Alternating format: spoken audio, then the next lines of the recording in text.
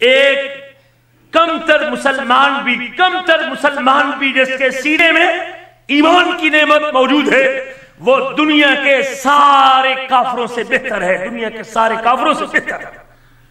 مجھے اپنے ذہن میں یہ بات بٹھا لینی چاہیے، ایک کم تر گیا گزرا مسلمان بھی جو لا الہ الا اللہ کہتا ہے، وہ دنیا کے سارے کافروں سے بہتر ہے۔ ان الذین کفروا من اہل کتاب والمشرکین، بے شک اہل کتاب میں سے جنہوں نے کفر کیا اور وہ مشرکین، ان الذین کفروا من اہل کتاب والمشرکین فی نار جہنم، یہ سارے کے سارے جہنم کی آگ میں ہوں گے، خالدین فیہا، اس میں ہمیشہ رہیں گے۔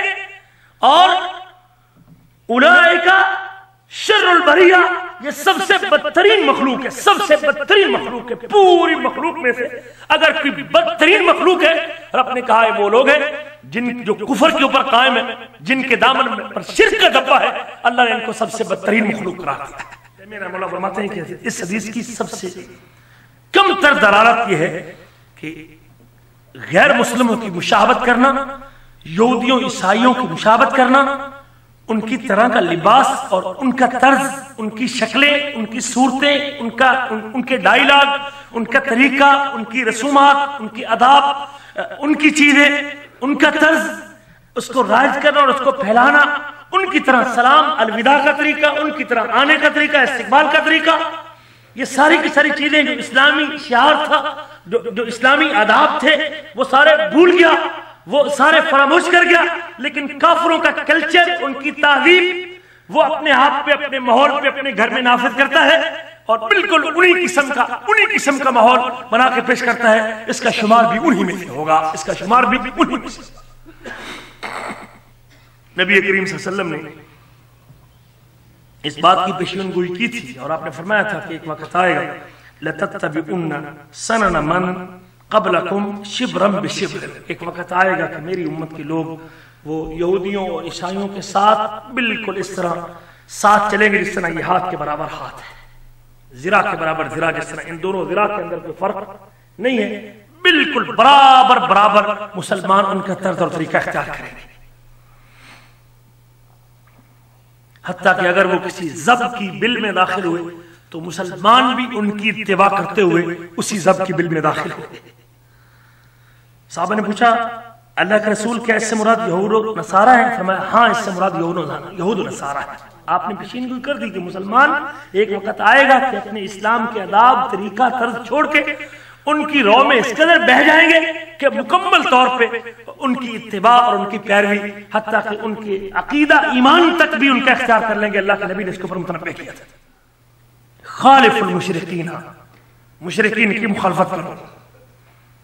وفر اللہا وقف الشواربا وہ داڑیوں کو موڑتے ہیں داڑیوں کو کاٹتے ہیں موچھوں کو بڑھاتے اور چھوڑتے ہیں۔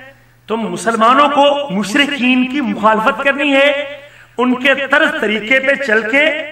ان کی طرح تم نے بھی داڑیوں کو موڑنا اور کاٹنا نہیں ہے، بلکہ تم نے ان کی مخالفت کرتے ہوئے داڑھی کے بالوں کو چھوڑنا ہے۔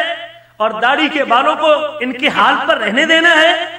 داڑھیوں کو چھوڑ دو اور مونچھوں کو کاٹ دو۔ اور ایک روایت کے لفظ خالف المشرقین وفر اللہا وعف الشواربا مشرقین کی مخالفت کرو اور داڑھیوں کو بڑھاؤ۔ وہ داڑھی نام کی رکھتے ہیں، لیکن تم نے داڑھیوں کو بڑھانا ہے۔ وعف الشواربا اور مونچھوں کو چھوٹا کرنا اور کاٹنا ہے۔ تیسری روایت کے لفظ ہے، جز الشواربا وعرخ اللہا کہ تم مونچھوں کو مونڈو اور مونچھوں کو کاٹو اور چھوٹا کرو۔ وَأَرْخُ اللِّحَا اور داڑیوں کو لٹکاؤ۔ داڑیوں کو لٹکاؤ۔ کچھ لوگوں کو بیماری ہوتی ہے۔ داڑھی کاٹتے نہیں، لیکن کاٹنے کی بجائے اس کو یوں لپیٹ کے، اس کو چھوٹا کر کے اس بند کر کے یہ ظاہر کرتے ہیں کہ داڑھی چھوٹی لگے۔ نبی کریم نے پانچ حکم دیے ہیں۔ نمبر ایک وعف اللہا اور وعفو کا معنی داڑھی کو اس کے حال پر رہنے دو۔ ترکوہا علا حالیا اور ایفا کا معنی ہے ترکوہا علا حالیا داڑھی کو اس کے حال پر رہنے دو، اس کے حال پر رہنے دو۔ وف اللہا ایک، وفر اللہا دو، لہا دو، کہ داڑھیوں کو بڑھاؤ۔ وفرا یوفر توفیر کا معنی ہوتا ہے بڑھانا۔ اور جو کینچی سے کاٹتا ہے وہ بڑھاتا ہے اس کو۔ یعنی اس کو گھٹانے، کم کرنے کی کوئی سازش کرنی، کوئی طریقہ اختیار کرنا۔ بے شک دانت کو استعمال کرے۔ بے شک اس کو توڑ دے، بے شک اس کو اکھاڑ دے۔ فرمایا، وفر اللہا داڑیوں کو بڑھاؤ۔ تیسرے لفظ، اوف اللہا داڑیوں کو بڑھاؤ۔ اوفو کا معنی بھی، ان کو پورا پورا آنے دو، ان کو پورا پورا حق آوفا یوف، ایفان، ان کو بڑھنے دو اور آنے دو۔ اور چوتھا لفظ، آپ نے فرمایا ارجو اللہا داڑیوں کو چھوڑ دو، ارجو چھوڑ دو۔ اور پانچواں لفظ، آپ نے فرمایا، ارخ اللہا داڑیوں کو لٹکاؤ۔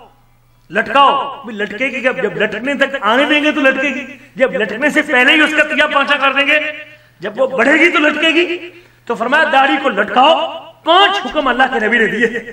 اور فرمایا، یہودیوں عیسائیوں کی مخالفت کرو۔ یہودیوں عیسائیوں کی مخالفت کرو۔